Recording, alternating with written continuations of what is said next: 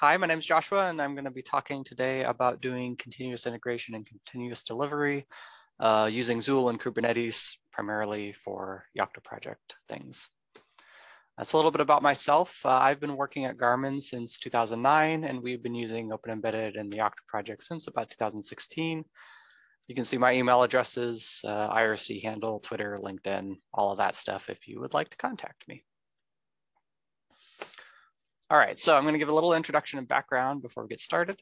So this is very much a continuation of my 2021 ELC presentation, which goes into uh, specifically Kubernetes uh, for Yocto builds uh, much more in depth. Uh, so I'd highly recommend you look at that if that's something you're interested in.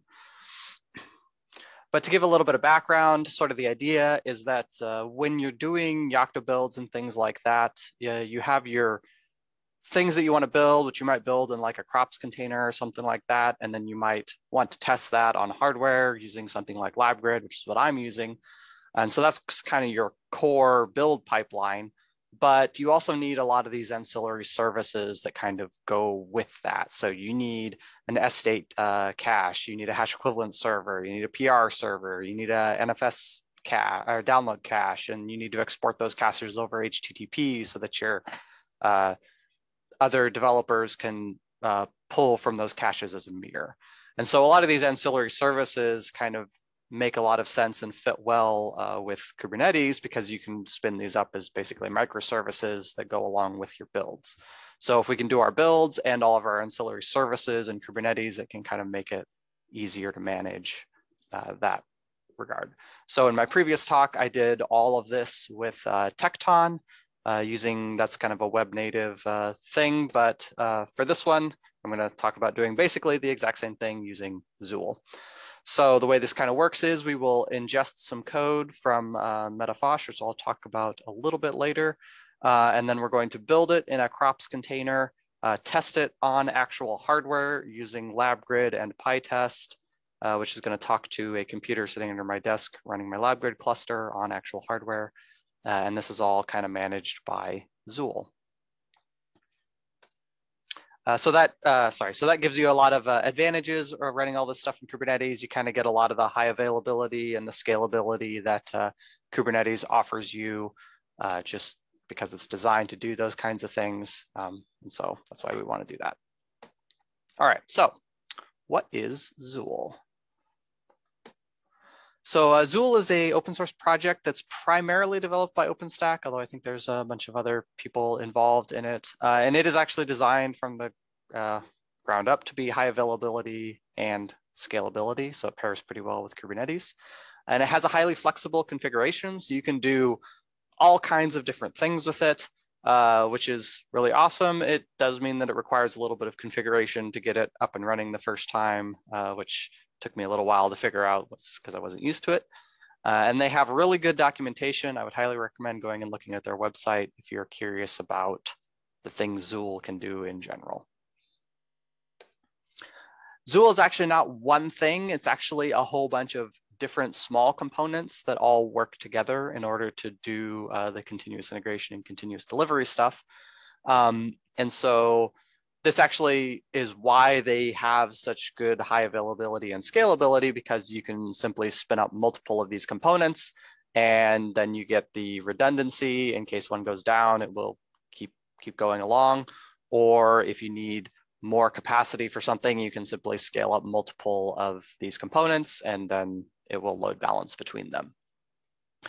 Uh, you can set all this up uh, you know, on your own with all these different components on discrete hardware or whatever you want.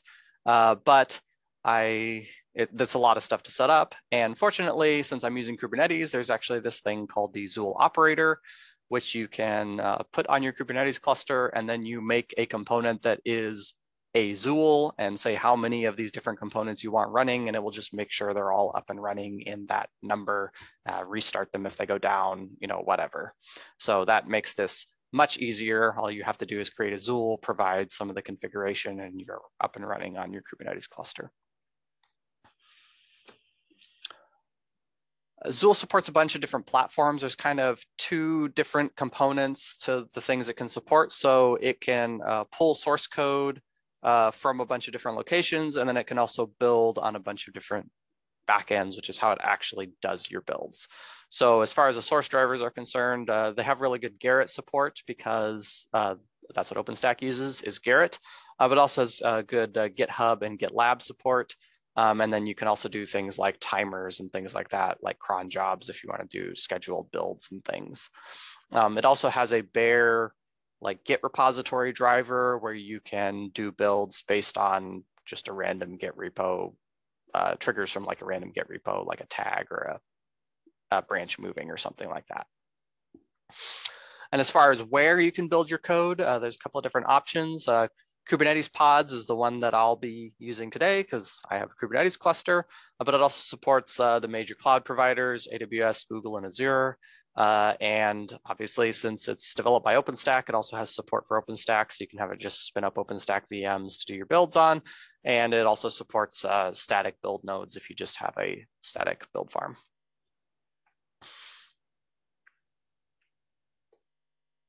Uh, so Zuul has a couple of different configuration things that they uh, that, that, you have to configure. Uh, so the first one that we'll talk about is uh, what's called a pipeline. And this really defines when you're going to build something and what you're going to do when that build is done. So uh, this would be, so the triggers could be like when a branch head changes, when a pull request is opened, um, you know, when a tag is dropped or something like that. Uh, and so your pipelines define what uh, when you're going to build something. And then you also say what you want to have happen when that build is finished. So that can be leave a comment on the pull request or, you know, merge the pull, request into the uh, destination branch uh, or, you know, lots of different things like that. Um, these are all defined using YAML files and uh, you put these in what they call a trusted configuration Git repo um, they kind of split up the configuration between trusted and untrusted uh, so that you can have trusted configuration that you kind of don't let just anyone modify uh, so that you can kind of have your security domains and kind of do uh, secure builds. And then you have uh, untrusted code that kind of could be stuff from random repositories that people might change. Uh, so it kind of lets you divide up your configuration like that so that you can do builds more securely. Uh, and we can take a look at uh, my configuration here. Um, I'm not going to go into this in detail, but you can see I've got some uh, pipelines set up to do like a check pipeline and a, a, gate pipeline. And these are all the triggers and things that you do when you're done, um, which I'm not going to go into this. You can read about that in the documentation. Oops, wrong one.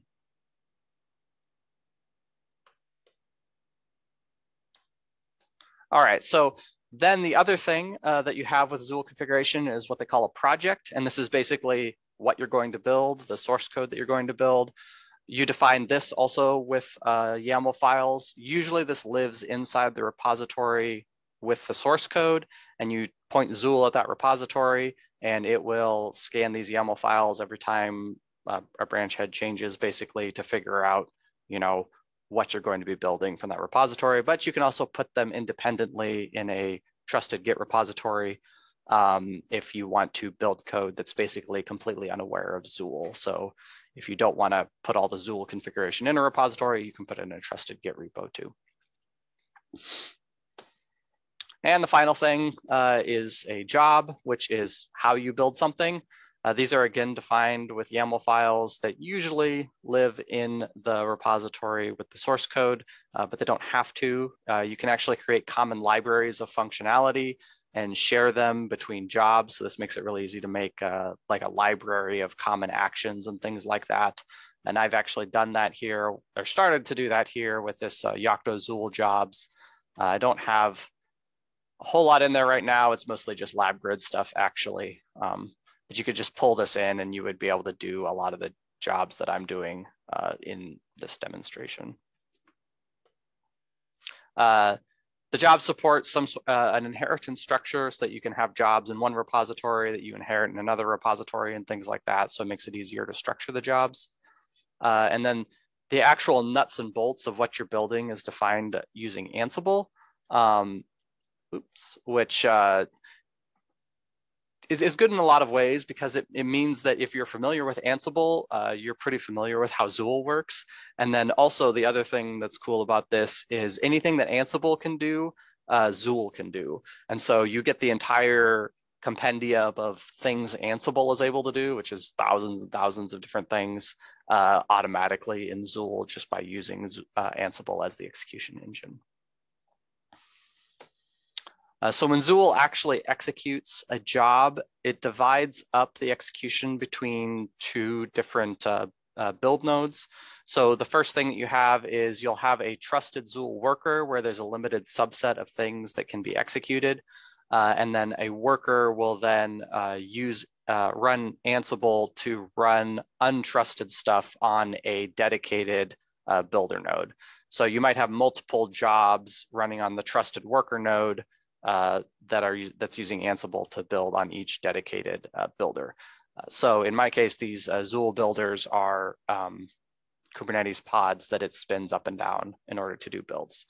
And this allows you to really sort of safely limit what type of untrusted job configuration you're executing. Um, so that that distinction is important to make sure that you're not executing random code that you don't want to be from like a pull request or something like that. Uh, something I don't really use much, but Zuul is uh, pretty good at is cross-project dependencies. Uh, so you can actually declare changes to be dependent on other changes uh, in other projects. So if you have uh, like uh, change A in a repository and change B in another repository, you can mark change A as depending on change B. And Zuul will actually test them together and then ensure that B is merged before it will merge A. Uh, and so this is really powerful. Um, a lot of people that do like Android development with repo really like this because just kind of the way repo works uh, fits really well with how this uh, ends up. You can make sure that those dependencies are declared uh, and that they operate correctly. So you're not breaking anything. Um, so like I said, Zuul can be configured a whole bunch of different ways, but kind of the way that they really recommend you set it up is to do something called uh, project gating. Uh, and project gating is kind of a build philosophy where uh, your CI system uh, builds, tests, and merges uh, changes after they've been reviewed. Uh, so you don't have humans manually merging changes anymore. You let the build system do that for you. And there's a little bit more about this at that gating.web.dev website. But the way I kind of like to think about it is if, if you look at the life cycle of a patch, um, project gating is really kind of designed to break up that patch life cycle with a really hard boundary between where the humans are involved and where the computers are involved. And the idea behind this is that you can play to the strengths of each side without having them really uh, conflict with each other or having to wait on each other for things to happen. Uh, so if you think about the life cycle of a patch, uh, there are things that humans are really good at, uh, like creativity and judgment calls and things like that. So like creating patches, you know, humans are really good at making patches and they're really good at doing code review on patches, uh, which computers generally aren't as good at. Um, and so what you want is at the beginning of the life cycle of the patch, you want the humans to basically be involved without much interaction from the machines. And once the humans are all done and they said, this patch is good, I want this patch to be merged, then it gets completely handed off to the computers and uh, they do the rest of the patch lifecycle management with no involvement from the humans. Um, and the reason for this is that computers are really good at the boring repetitive tasks that humans hate doing, like building code and testing code, and then finally merging the changes. And the building and testing is like pretty common for CI.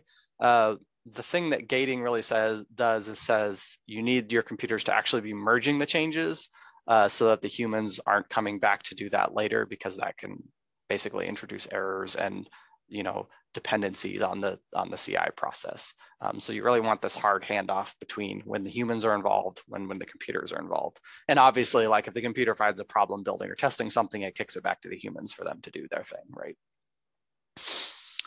Uh, so Zuul kind of takes this one step further, and it does something called speculative execution. Um, and what it what this means is it actually looks at all of the changes that are, are to be gated and it stacks them uh, in the order that it will finally merge them with their final SHA-1s and then tests them, uh, builds and tests them in that order. Uh, so it's doing this in situ and basically once it's built and tests a change, it just fast forwards the branch head. And so this really reduces the ability, uh, really reduces the ability for a single change to inadvertently break something by merging in a weird order with another change because it's testing them all in the order they're going to be merged with their final SHA-1s. This also means that Zuul can actually work ahead in this uh, gate and in, in this stack of changes. So it might actually start testing changes from uh, you know, that are further down in the stack um, before the previous ones have finished, kind of with the assumption that they will pass. Um, and if they don't, then it's got to restack everything and start over. Um, as you can kind of see that here in this picture on the right, the changes actually stacked down. So you can see this uh, like this 813419, that first green check mark. That one's not done. Uh, that, that will be the next change to merge, but it's not done. And so the changes further down in the stack are actually currently being built. And that very bottom one, which is the most recent change, uh, is all done and passed, but it won't actually merge until the ones before it uh, pass or it has to restack or something like that. Uh, this also lets it optimize CI resources because it can be building ahead and using unused CI capacity to, te to test, uh, you know, uh, deeper into the stack instead of having to wait and test every change and wait for it uh, in cycle. Uh, and this is really important to reduce that uh, developer interaction with your merges. So, uh, you know, the, your developers can really hand off the changes and say, once this is ready to be merged, we can mark it however to be gated by Zuul and it will merge eventually as long as there's not some problem with it. Uh, it might take a while if it's pretty deep in the in the gate stack, but it, you know, it will get there. Um, and the humans don't have to really worry about that at all. It's just, it will merge when Zuul gets around to it. All right, so I'm going to talk specifically now about how we have you are using Zuul and uh, meta-phosh. Uh, so meta-phosh is a layer for building a GNOME and Wayland-based Phosh shell. I'm not going to go into this too much because Tim has an entire presentation on this later, um, but you can see the link there for the repository. Uh, so this is kind of the, this is the project configuration for meta-phosh. Um, so you can see we have the project here and I have three pipelines defined, a check pipeline, a gate pipeline, and a periodic daily pipeline. Uh, and I will go into each of these in detail and kind of describe what they're for. Uh, so this first pipeline is the check pipeline. Uh, this is really intended to run basic sanity checks every time a pull request is created or updated. Uh, I currently have it actually building images uh, for QEMU and Raspberry Pi 4, but I'll probably end up changing this because you don't really want to be using CI resources to build, you know, every time a PR uh, pull request is updated. That's really the purpose of the gate job um, or the gate pipeline. Uh, so we can kind of take a look and see what this looks like here. And I'll go in and look at an actual specific build a little bit later. A lot of these uh, have actually been uh, dequeued um, because like I started a gate pipeline uh, because I was ready for the changes to merge while the check before the check pipeline finished.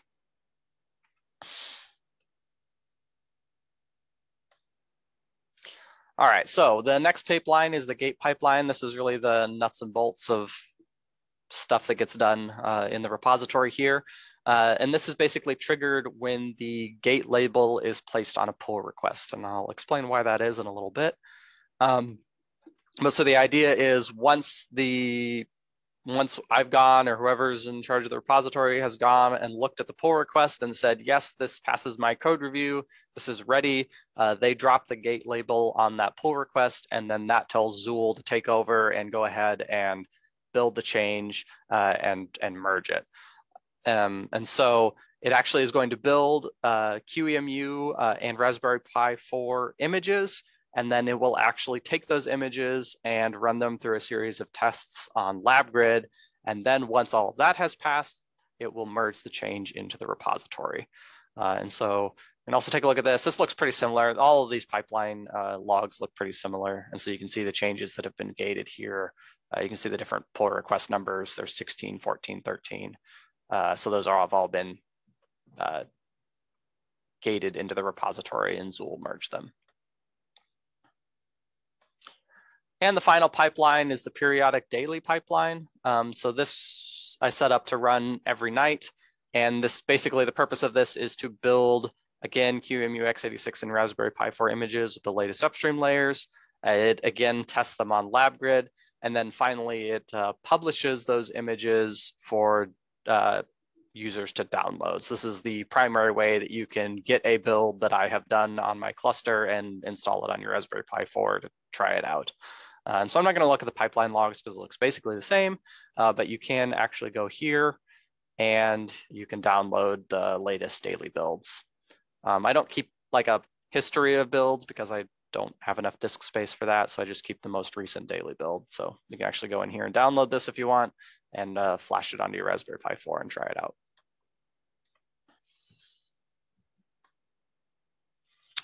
Uh, yeah, so here's an example of some build output. We can go look at that. Um, so uh, you can see these are the five jobs. So this is a daily build. So these are the five jobs that I've defined. So we've got the QEMU-x86-64 build, and then this is the test that tests it with LabGrid, and then the same for the Raspberry Pi 4 and the test on LabGrid.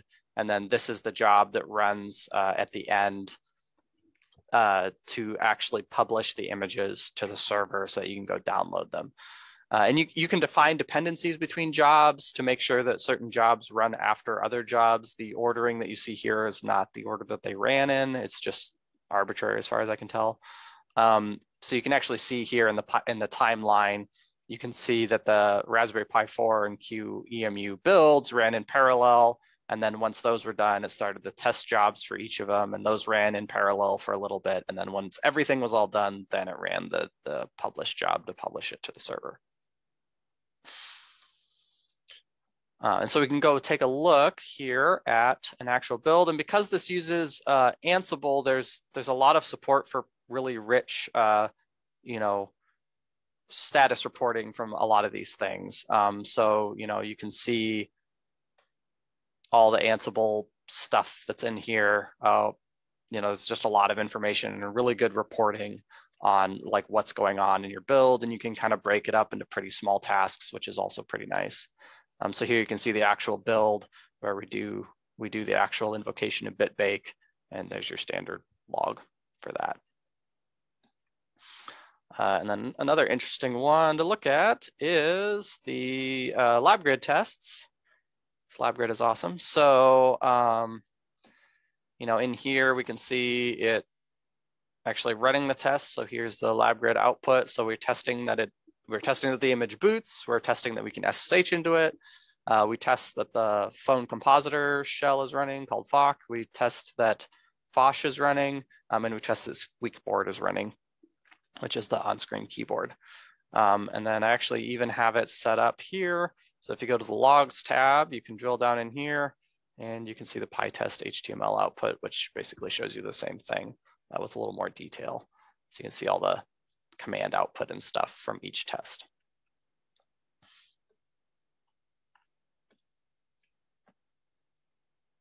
All right, so uh, you know, no CI project is, is without limitations. So I'll describe a few of them that I've encountered uh, when using Zuul. Um, so the first one that really annoyed me was the gating trigger for GitHub.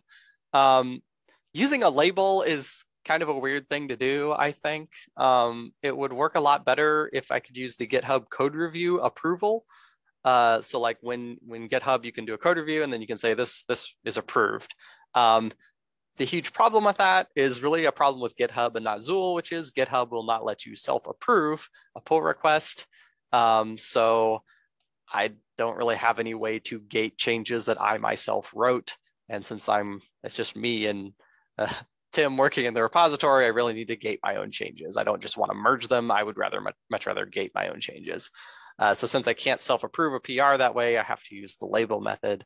Um, uh, this works a lot better on GitLab because you can self-approve your own uh, changes with code review. And so you can just set it up to do that. Um, but that one really annoyed me. Uh, the other thing with Zuul is uh, it, it's not really easy to do like a manual trigger job. So in a lot of other CI systems, you can say like, I just want to build the code at this SHA-1, like go. Um, and Zuul, you can do it in Zuul, and I'll show you how. So I can show you an example of a live build. Um, but it's really more designed for these external triggers like uh, new pull request tags, push commits, a cron job, you know, whatever. It works really well for that.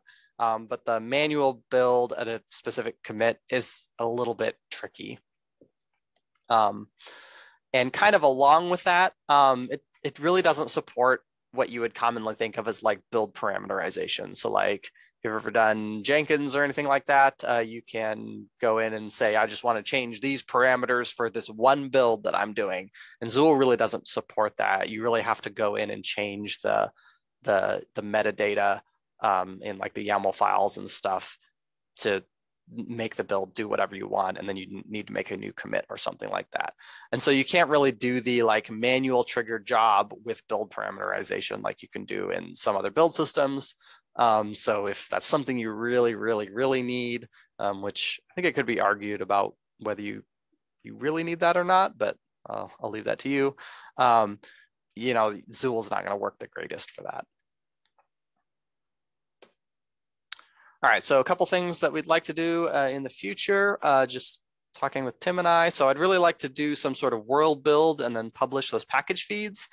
I'm not sure how often to do this, maybe weekly. I don't know how long the builds would actually take, um, but I definitely need a more robust uh, hosting solution for that to work because I would not be able to host package feeds on my uh, cluster here in my basement. It doesn't have enough disk space and I don't have enough bandwidth for that type of thing. And I'd also need to start up a PR server. I don't currently have one, but I already have a hash equivalent server. So I don't think starting up a PR server would be terribly hard. Uh, another thing is uh, I'm, I'm currently just kind of uh, open coding the way to do the Phosh builds in uh, the Zuul metadata, um, but Tim added these kas files for uh, end users to do builds with. Um, and so there might be the option there of having uh, Zuul build using the kas files. And this will have a couple of advantages. One of the primary ones being that you could easily, I think, share that so that they, as like a library, as like a, a Zuul um, job li- and a Zuul job library, so that it would be easy if someone else was running Zuul and was using kas, they could just pull in that job and it would kind of just work. Um, and so that would make it really easy to share. Uh, some of the problems that uh, uh, kind of thought about with that is uh, I'm already building in a container, so I I don't want kas to also build in a container, which I think of what is, is what it does by default. I'm not very familiar with kas, so I don't know if that's possible to change. Um, and then Zuul actually, for all the repositories that you're watching, it actually keeps a uh, it actually keeps a local cache of all those repositories uh, and it uses that so it can see like when things change in the repositories like branch heads move or tags get added or whatever. Um, and so that allows it to do the cross project uh, dependency tracking uh, and it also means that when you do a build it actually just copies that cache to the build node so it really cuts down on the amount of cloning of git repositories and all this other stuff that you're doing just to spin up a job um, and if you were to allow kas to download those layers and stuff, you kind of lose some of that unless there was a way to like better integrate it. Um, so if there was a way to like use the caches that uh, Zuul already has and has put on the worker uh, and, and have kas pull those in, that would be that'd be ideal. But I just haven't looked into it yet. Uh, and then the final one, which I actually started working on a little bit, was like automatic recipe upgrades. So I'd like to uh, uh, basically make it so that uh, like on my nightly build, Zuul would go in and upgrade all the recipes in Meta Phosh to their most recent versions. Um, and one of the nice things about the way that project gating works is you don't actually need Zuul to do a build at that time, right? So if you can get Zuul to make a commit on a branch that uh, updates the recipes to all their latest versions, which only takes a couple minutes really to do all those checks, uh, then you can just gate that as normal. And that is actually the thing that does your testing of does this thing actually work and do all the things that you want. Um, and so I really like that because it means you don't have to go through the whole process of building all of it while you're doing the recipe upgrades. You can just gate it like a normal change. Um, and that would also test it on hardware, which would be pretty cool. Um, this is a little tricky with GitHub pull requests. Uh, if you've ever looked at the GitHub API, it's not the easiest thing to go in and say like, hey, I want to make a pull request uh, programmatically. Um, so I'm, I'm working on it though.